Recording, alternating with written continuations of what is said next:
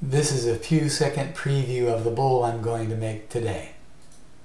Okay, I have another piece of pignut hickory that I got in a whole collection of them.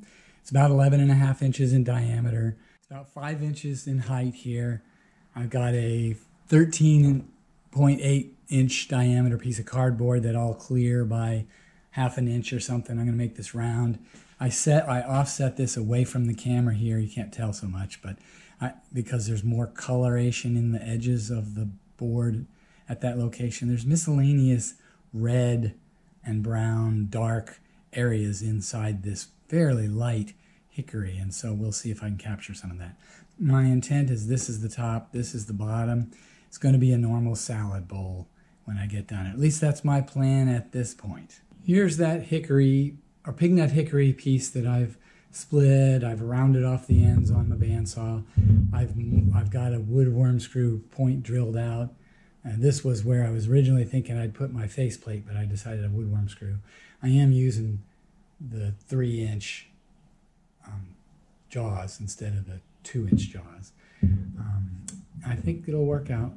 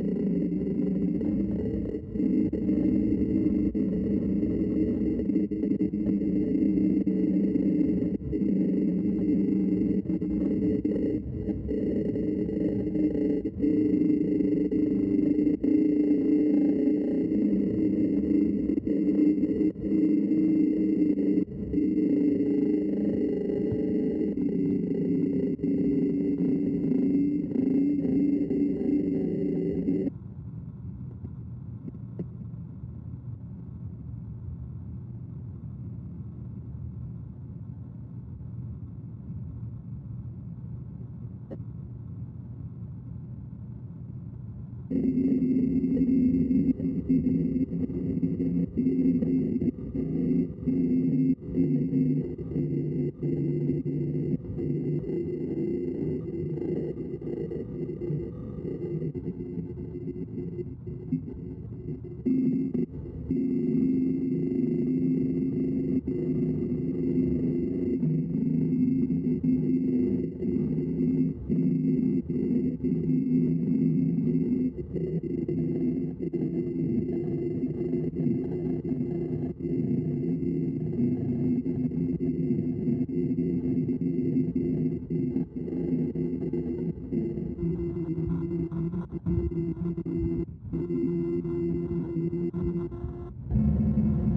I'm going to do some sanding on the outside.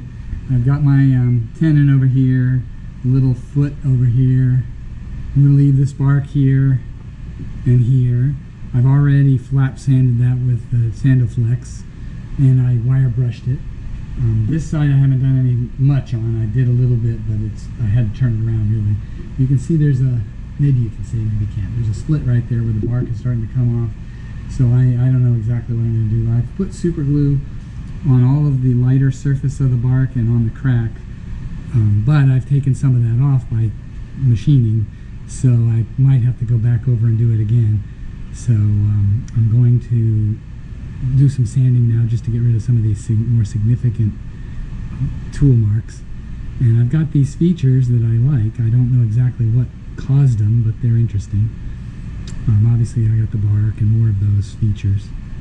Overall, it's um, going to be neat. Now, what will end up is because I've got this bark here, this dimension to the edge of that bark is four inches and the dimension to the edge of this is five inches. So what that's going to say is if I want to clear the bark, leave the bark on without making the side break out, I'm going to have about an inch of more thickness on the end where there's no bark than where there's bark. So the there'll be a lot of the bowl will be relatively heavy. It's not going to be a lightweight, thin-walled bowl. If I make it real thin, I can maybe bid a little bit better than that. But in general, it's about an inch difference in the diameter from here to there, or the radius um, from here to there. So that means the wall thickness over here is going to be relatively thick.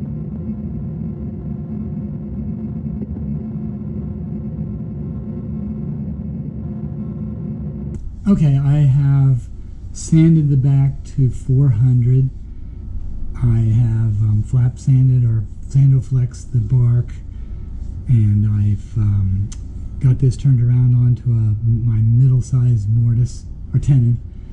And so next thing I'll be doing is machining this edge. A little bit further.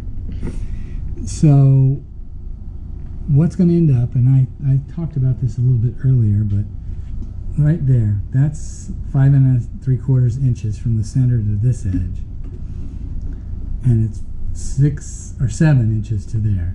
So there's a one and a quarter inches difference in the radius where there's no bark to where there is bark. So when I draw a circle in here and come out to that point, let's say I come out to five and a quarter inches, which is, maybe a little, a little bit more. Let's see what this side is.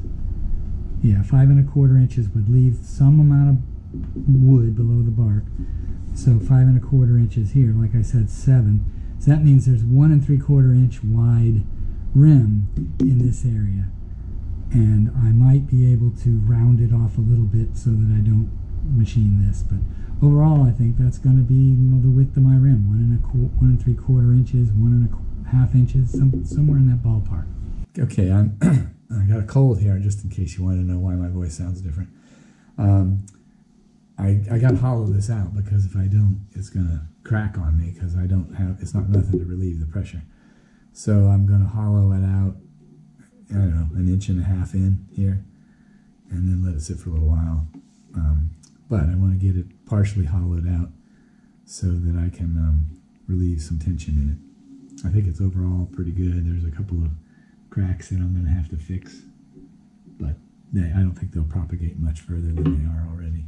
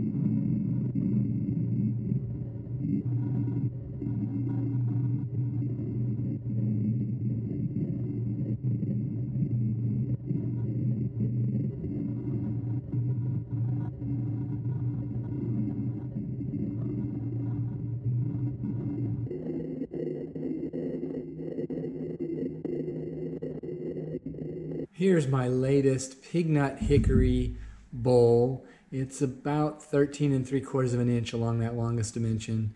Obviously, it's a little narrower where the bark is, and so that's why I have such a wide rim. The minimum thicknesses are close to a half an inch, and that's because the bark is about a quarter and the wood is about a quarter. I didn't want to expose wood on the or bark on the inside, at least not much. There's there's some included bark. I think that's what all of these little barks in the middle of the bowl are. Okay, here's the bottom view. I uh, can see I've got um, bark on two sides and then some included bark here and, and on the other side. I don't know exactly what caused that, but you can see that the bowl has got a lot of um, live edge. And I do like the look of the bark, particularly in this lighter area. So I have really dark, I have some included lichens that have been finished over. Um, and there's red, yellow, brown, you know, the colors are nice variation. The bowl is relatively large. I got my wooden nickel on the back.